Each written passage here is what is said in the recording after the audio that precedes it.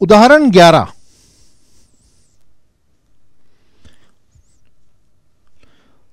तीन हज़ार चार सौ बावन और नौ हज़ार नौ सौ निन्यानवे का गुणनफल एक न्यूनेन पूर्वेन सूत्र की मदद से ज्ञात करना है।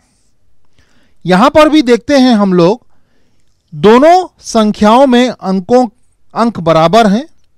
यहाँ पर भी जो बायां पक्ष होगा, वो तीन हज़ार चार सौ बावन का एक न्यूनेन तीन हज़ार चार सौ इक्यावन हुआ। और दाया पक्ष नौ हज़ार नौ सौ निन्यानवे में से तीन हज़ार चार सौ इक्यावन को घटाने पर मिली संख्या जो कि छ हज़ार पाँच सौ अड़तालीस है, ये उसका दाया पक्ष हुआ। तो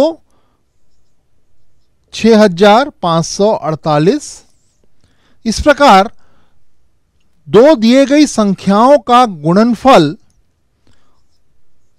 आठ अंकों की संख्या